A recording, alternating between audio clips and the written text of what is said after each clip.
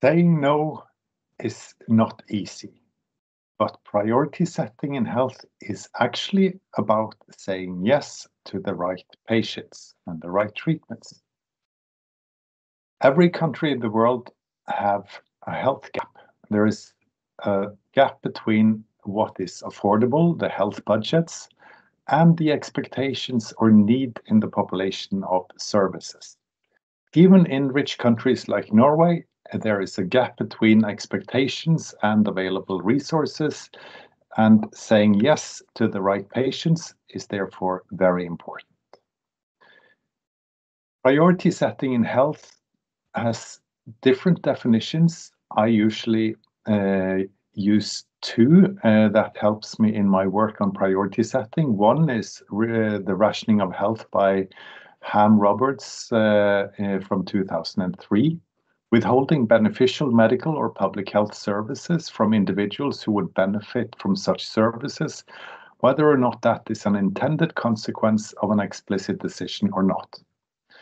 A more uh, simple but still difficult definition is uh, that priority setting is ranking of patients or health services in order of importance. So it means we say some interventions are more important than others.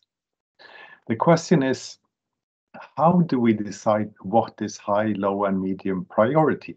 And here is an example from the Essential Healthcare Package uh, in Ethiopia that was launched in November 2019, where there are three examples here of conditions and the respective interventions. And you can see that treatment uh, of patients with uh, hypertension uh, with both statins and antihypertensives have been given high priority. Treatment of prostate cancer with surgery, chemotherapy, radiotherapy, and radiation therapy has been given low priority. And this is important in a country where you have extremely scarce resources. Uh, but interesting in the priority uh, decisions of this benefit package is that you see childhood cancers and diagnosis and treatment of acute uh, leukemia has been given medium priority. And the question is is this fair? In order to answer this question, we have several international and national guidance on uh, what is a fair um, priority decision, and this is the guidance by World Health Organization, Making Fair Choices on the Path to Universal Health Coverage. And uh, that work started from uh, the 2013 um, WHO health report, where they talked about universal health coverage, and that this is uh, to ensure that all people obtain the health services they need, prevention, promotion, treatment, rehabilitation, and palliation without risk of financial ruin or impoverishment now and in the future. However, this involves ethical dilemmas about how to balance the goals of UHC and uh, other concerns. And from this report, uh, uh, the cube of the healthcare system was uh, published, and this has become a highly cited cube. And there are three dimensions important when we deal with priorities in the health system. The first priority decision every country at different levels need to deal with is what services would you include? Uh, and uh, as we saw from the Ethiopian benefit package, uh, the three examples, antihypertensives and statins, were decided to be included. Treatment of prostatic cancer was not included. However, childhood leukemia was given medium priority. So it was included, but it was decided that this should be financed out of pocket. And that's the second dimension, is the financing of the health services and a priority decision on whether this should be universal public finance or if it should be funded from direct out-of-pocket payments.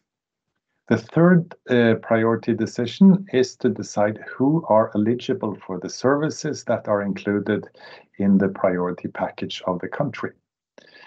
Is it those living uh, in urban areas? Is it the rich or the poor? Is it everyone? These are decisions that need to be made uh, in order to achieve universal health coverage. And this is what was discussed in the WHO report from 2014, Making Fair Choices on the Path to UHC. Uh, three steps uh, were uh, recommended from this uh, report. First, categorize services into priority classes by using relevant criteria for priority setting. Second, first expand coverage for high priority services to everyone, and this includes eliminating out-of-pocket payments while increasing mandatory progressive prepayment with pooling of funds. While doing so, ensure that disadvantaged groups are not left behind. These will often include low-income groups and rural populations. Ethical considerations that were discussed uh, is how do you choose uh, key services fairly?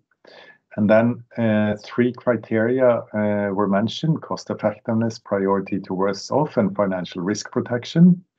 Whom to, who to include first, the sickest, poor, most marginalized, or those that are hard to reach, or special uh, um, employment groups. For which patients groups should uh, direct payments for key services be reduced first? uh, those in the formal sector, the poorest, uh, lowest income quintile, or everyone.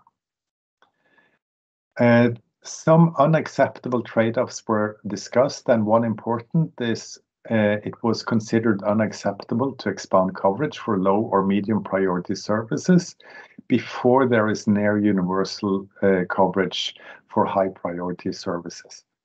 So this means out-of-pocket payments should not be reduced for uh, low or medium priority services before eliminating out-of-pocket payments for high priority services. Thank you. I am Kjell-Arne Johansson, and I'm professor at Bergen Center for Ethics and Priority Setting, and also a medical doctor working in addiction medicine.